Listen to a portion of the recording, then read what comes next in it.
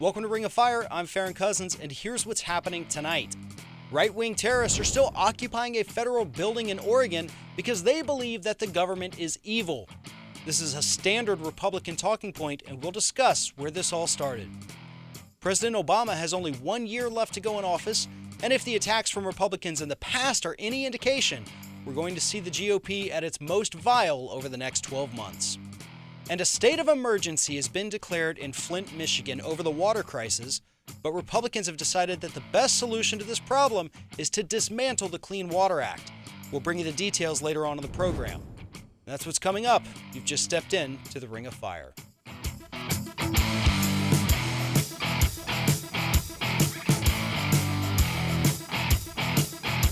There's been zero warming, none whatsoever. I'm running for President of the United States. Congress declares war, not the President. Start with the countries that are burning our flags. We regret these errors and apologize. We apologize. We apologize. And apologize. This is good news, people.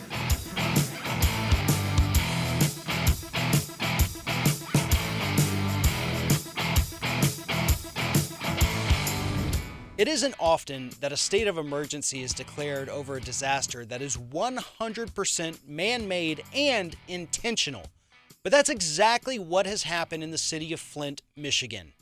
As residents in the city struggle to find drinkable water, the National Guard has been deployed to help distribute bottled water to residents. Now, the crisis actually began about 18 months ago when Republican Governor Rick Snyder made the decision to balance the city's budget at the expense of the health and safety of residents of Flint. The government and his appointed budget experts decided to save the city some money by switching their water supply from the city of Detroit's supply over to the Flint River, and according to Occupy Democrats, this river was known to be both highly polluted and carried an unusually high salt content. The high salinity of this water caused the city's pipes to begin eroding, which then leached lead into the city's water. Again, the governor and state officials were aware of the lead problem the entire time that it was happening, according to internal emails between the governor and officials. In spite of that knowledge, they waited 18 months before declaring a state of emergency, and the public would have remained in the dark had it not been for medical professionals coming forward to explain what was happening to residents and their children. Now, the entire problem could have been avoided at a cost to the city of less than $100 per day. In the midst of this crisis, and just days before the state of emergency was declared, Republican House Speaker Paul Ryan wrote an op ed attacking the EPA's clean water rule. In the op ed, Ryan declares that the stricter rules, which were finalized by the EPA this past summer, and it gives the agency the authority to regulate smaller bodies of water to limit pollution, Paul Ryan says that these are a prime example of government overreach and that the only goal of the agency is to micromanage how citizens use water. Now, Ryan points out in this fact free article that 32 governors have filed lawsuits against the EPA and the Obama administration in order to block the rule from ever taking effect, and a circuit court did temporarily block implementation of the rule back in October. So while Speaker Ryan claims that he objects to the rule because it does damage to small farmers and ranchers, his real goal is to protect the corporate powerhouses who lobbied against the new rules. Those wealthy interests include the U.S. Chamber of Commerce, the National Association of Manufacturers, mining company owners, and several businesses owned by the Koch brothers. These groups have little to no interest in farming activities, but they are all either major polluters through their dirty energy businesses or they represent the interests of polluters from both the energy and industrial manufacturing sectors. And according to a guy like Paul Ryan, the desire of companies to pollute entire towns is much more important than the health and safety of American citizens. Those health concerns are not hypothetical either.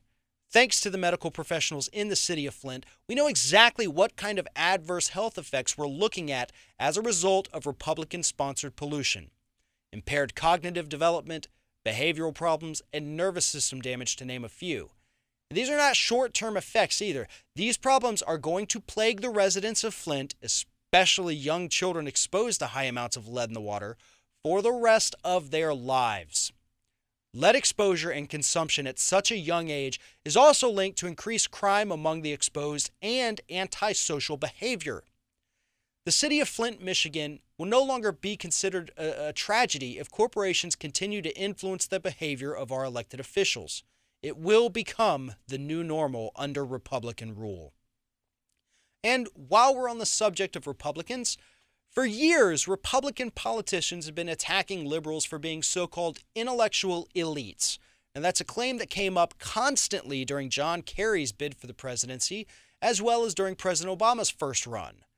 The anti intellectualism has stretched into Congress itself, with Republican representatives incessantly attacking the science behind climate change and by cutting the funding for any government agency that deals with science.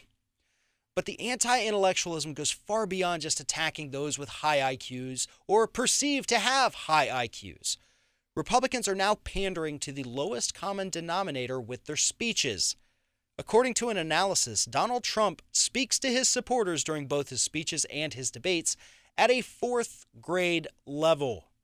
Now, this should come as absolutely no surprise to anyone who's ever heard the man speak, but it does tell us all we need to know about the real Republican base.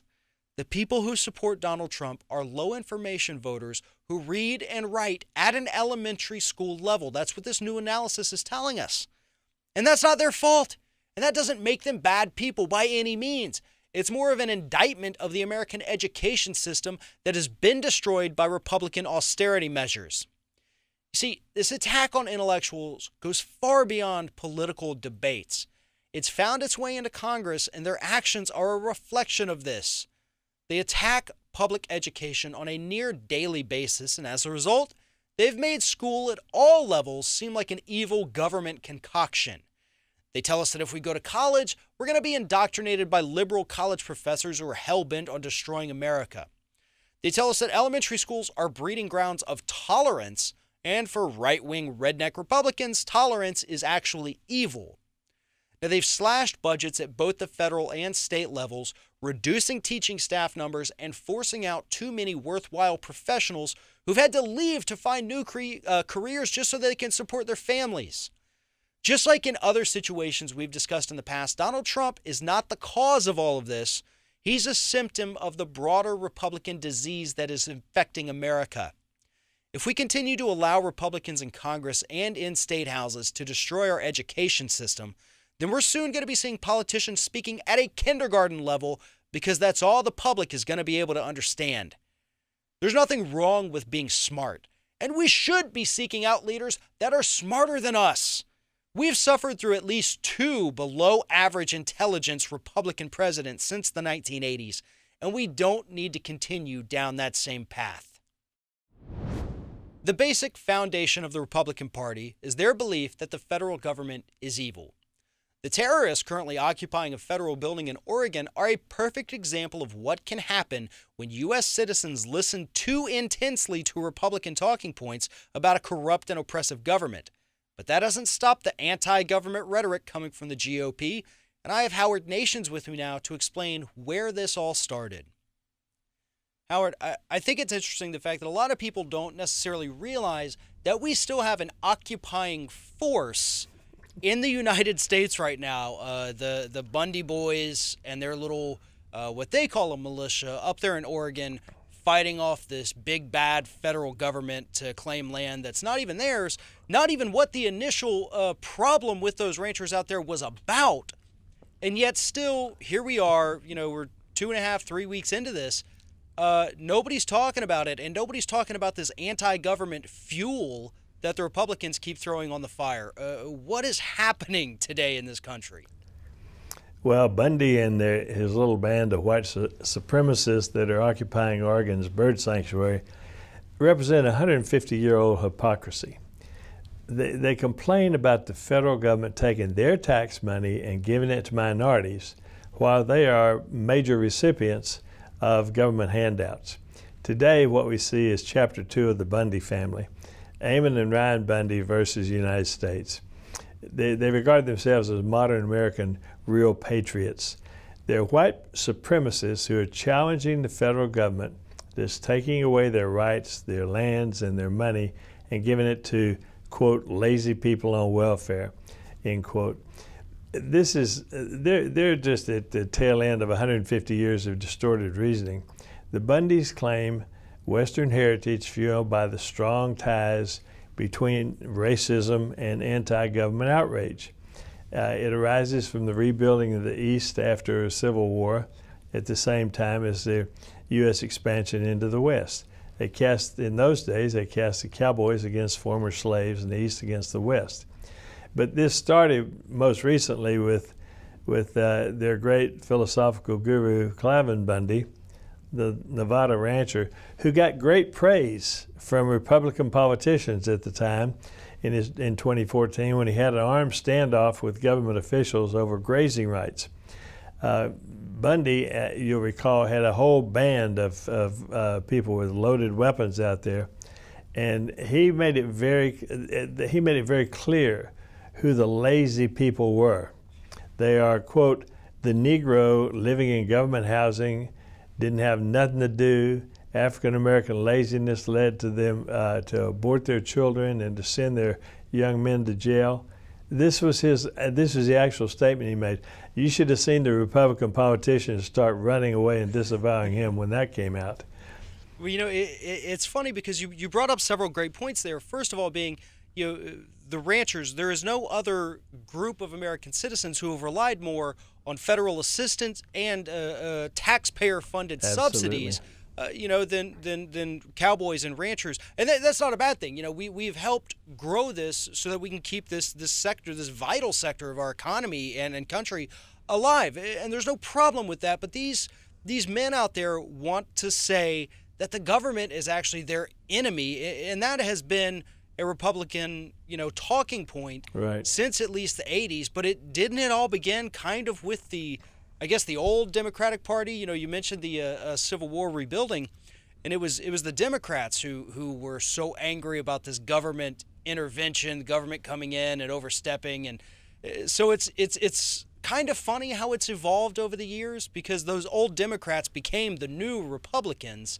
And they just carried that, you know, 150 years. And then uh, I, I guess really in the 80s when Reagan took over and started pushing uh, the same beliefs, I guess, that Cliven Bundy has, the welfare queen, the you know lazy African Americans, right. and that's right. when the anti-government movement really took off in this country. Yeah, and right now the the new Bundys, uh, uh, they're anti-government. They're they're they're they're patriotic hypocrites. Uh, Bundy and his band of strong individual rugged Westerners are aided by government programs that protect their herds they provide drought relief payments. They provide 90%, 93% discount on grazing fees, 93% discount on grazing fees on government lands. Despite that, uh, Bundy still owes the government more than a million dollars in grazing fees for uh, running cattle on his uh, public lands. Uh, when the government sought to collect fees from from uh, his uh, this true patriot, uh, they aimed guns at federal law enforcement officers and tried to provoke a shootout. Federal officers declined to engage in range warfare, and Bundy and his true patriots actually won that showdown. This has fueled more active participation by his family members. Federal taxpayers continue to fund Bundy today while they provoke violent insurrection against the United States government. What you have now is Ammon Bundy, the leader of the standoff at Oregon's uh, wildfire refuge, is a recipient of a half million dollar SBA small business loan. You know, so like most right-wing ideologues, the Bundys don't let facts interfere uh, with their rhetoric or principles interfere with their receiving government largesse that they profess to hate. well, you know, it, it, it's funny because there there is quite a bit of, of money in ranching if you are successful. Sure. Uh, the, these people are not in general hurting for money. Now, when a bad year happens, the federal government does step in and they will help essentially bail them out every year. And for these people to talk so negatively and, and basically mount this insurrection against the government is absolutely insane because there are very few other industries where you can work. And if you just have a bad year, the government steps in to help you out you know, eh, su- suppose things go sour with Ring of Fire this year. The government's not going to step in and say, okay, well, here's your subsidy for, you know, maybe your viewership declined a little bit. Maybe people weren't going to your website as much. That doesn't happen elsewhere. I mean, these people, these are the welfare queens of America. No question. No question. These are the people who just want more, more for themselves and nothing for anyone else. And that seems to be how it always is with people who identify as Republicans. Give it all to me, but don't give it to anyone else. Yep, absolutely. Well, you know, all this goes back, as you said, it started in 1865 when, after uh, the Civil War, when Congress passed the Bureau of Freedmen uh, to provide rations and medical care to Southerners, uh, whites and blacks, who were starving. In the summer of 65, 1865, the Freedmen's Bureau distributed 150,000 rations, two thirds to African American, one third to whites. And the Freedmen's uh, Bureau had to conduct claims resolution since blacks could not testify in white courts in the South. So the African Americans prevailed in those Freedmen's Bureau claims 68% of the time. This caused great animosity of the whites against the slaves who had just been freed. So the right, uh, whites then rewrote the history book stating that they fought for states' rights, not for slavery. So everything switched over to state rights, anti federal government. And the views perpetuated that the federal government sucks taxpayer dollars out of the whites to provide for the lazy blacks. And it, then when the at the same time you had the, the western expansion, the cattle industry was developing in the west, and the cowboys many of whom were ex Confederate soldiers who were dirt poor. They lost everything they had in the war. What they had was a horse and a gun. But they went west. And the myth was perpetuated by the Southern press that the cowboys were free and independent. They were the embodiment of American individualism. They were couched as, as the opposite of the ex slaves who were being coddled by the federal government. Cowboys asked the, uh, nothing of the feds reality was, as you said, it started way back then and continues today. The cattle industry was sustained completely by the federal government. They had anti the, the army protected the the herds uh, and the cattlemen from the Indians. Congress funded the railroads to move the cattle to the eastern markets. The the federal government was one of the biggest uh, customers. They bought cattle to feed the military and to feed the Indians that were undertreated. However, the myth persisted that uh, the feds supported African Americans while white, while strong individual cowboys were building the West with no help from the feds. And that's something that the media, unfortunately, is, is too slow to point out today. Howard, thank you for telling us this story today. And we're going to stay on top of this. As long as those guys are still out there in that uh, bird sanctuary in Oregon, we're going to keep talking about it. It is an issue. I don't care what the media says. This is very important and it's very disturbing. So thank you very much, Howard. My pleasure. The Republican Party might appear to be divided on many issues right now, but over the last seven years, they have all been united in their hatred of President Obama. Now, this hatred has hit absurd levels as Republican, uh, Republicans feed us lies about internment camps for Tea Partiers or death panels that are going to determine when you're allowed to die. And with only one year left in office, these ludicrous claims are about to hit a new low.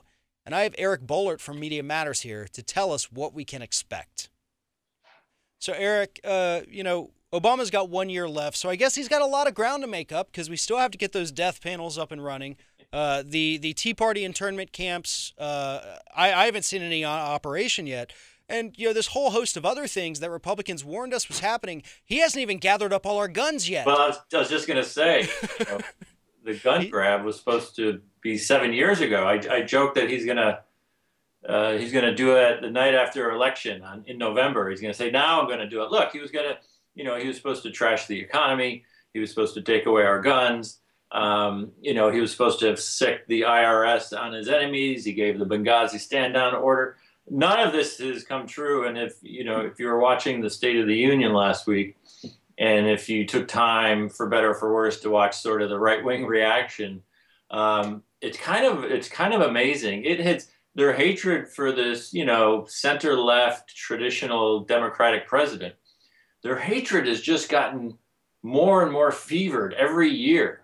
Um, it's very, very unusual. You know, I, you know, conservatives will say, well, you know, liberals hated George Bush and they called him names, and you know, I, I think there was a real fevered um, contempt for Bush 2003, 2004, you know, certainly around the Iraq War. But the idea, you know, January and February of 2008, you know, the liberals were up late at night, you know, thinking about George Bush. Nobody cared about George Bush. He was a he was a failure. His presidency was over.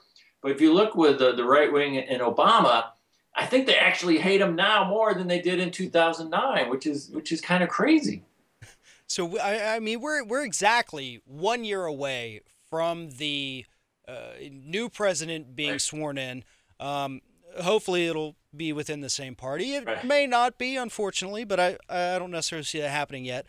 And and so I mean, it's very probable that these attacks are going to continue until January 19th of, of 2017. Yeah. Uh, be, because it really is something, you know, uh, I'm I'm in my early 30s, so I haven't been around too much, but I I, I still can't recall this level no. of hatred and this amount of just absolutely made up nonsense right. uh, coming from elected officials. I mean, not just the candidates, but people who currently hold office and right. serve in the government, just making things up. Michele Bachmann, my God, has been one of the worst people. I know she's out of office now, but in office, going on Fox News and saying that uh, there there's going to be these death panels, there's right, going to right. be internment camps. Right. I mean, that's dangerous from somebody who holds office. Well, it's very interesting, you know, right from the beginning, right from, you know, Obama hadn't even appointed his cabinet before this Tea Party, you know, insurrection began in March and April of 2009. So this this kind of fevered swamp, you know, they kind of uh, almost like a whirling dervish. They convinced themselves what the Obama era was going to be, right? Death panels, you know, prison camps, you know, opening the borders, taking. So they created this wild scenario. Um, and of course, none of that has, has taken place. And so for the last year, they're kind of they're kind of wrestling. I think. Well, how come everything they said about him didn't come true? How come nothing they said about him come, never came true. How come he's gone through his entire two terms without a single scandal of any kind of significance? Um, so they're kind of wrestling with that, but they're still in this bubble and they still are convinced themselves that he's this kind of Manchurian candidate. So it's interesting. Campaign year, you'd think all the focus would be on, on the on the on the campaign and you know deriding the Democrats and trying to keep a Democrat out of the White House again. But I think we're going to see sort of a dual track. They are so committed to this Obama, you know, uh, enemy of America, terrorist sympathies. Um, they're not going to let it go. They're, they're going to go full full barrel on both targets. I think very unusual. Like I said, eighth year of a presidency. Uh, most people have gotten over it. You know, if you're a critic, you're just like, let's let's move on. Uh, but these are the bitter dead enders. There's no question. So how long does this continue to work with the Republican uh, voting base if we have the Republican candidates out there still attacking Obama right. over things that didn't happen? will will that base continue buying into this when they can look back and say, "Look, eight year this well, it didn't happen. It didn't happen during Clinton either." Right. Have you been lying to me for you know 16 years? Will they will they wake up and see that? No, they're they're they're in it they're in it for the long haul. Again, we're talking, you know, the dead, the bitter dead enders, you know, 25, 30%. Um, they have hated Obama since day one.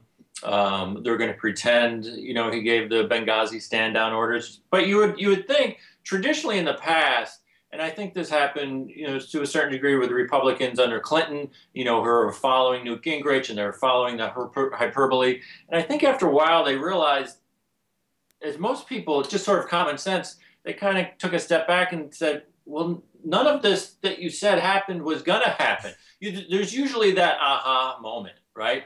But I think with conservatives, they've been they're able to create such a large and hermetically sealed bubble that there's 25, 30% that will never have that aha moment. And and yes, if you talk about death panels, if you talk about wanting to repeal Obamacare for the 64th time, they are right there. They think that is the, absolutely the right way uh, to win the next election. There, there's all the evidence says complete opposite is true.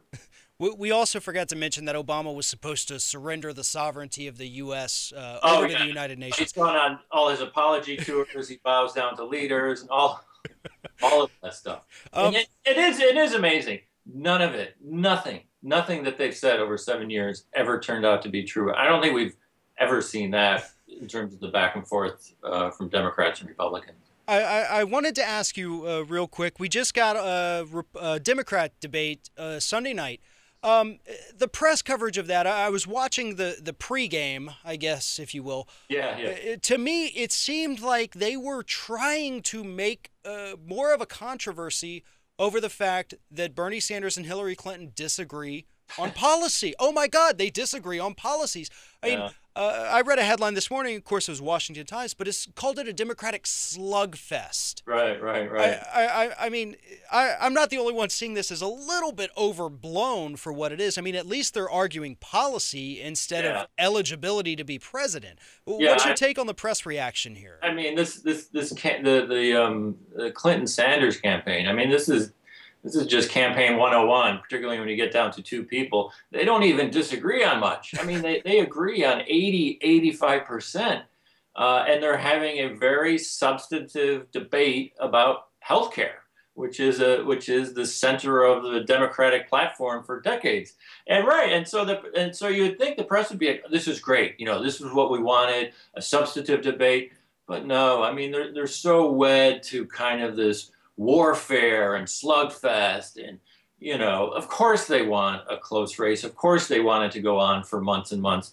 Uh, you know of course they don't like hillary clinton. We've talked about that many many times. So yeah I, I thought it was kind of breathless and you know her campaign's collapsing. If she loses iowa it's going to go all the way to the convention. I mean i don't think that's going to happen. But yeah they, they, they pick a narrative and that's the one they want. And last week it was Hillary's collapsing, and she's you know she's leveling these brutal attacks. They're not. I, you know, Bernie Sanders is a big guy; he can handle it. They're going to have a debate about health care, which is exactly what they should be doing. Right. Well, I, I mean, mean, again, when you compare it to the, you know, you watch a Republican debate, they can't go three minutes without insulting each other.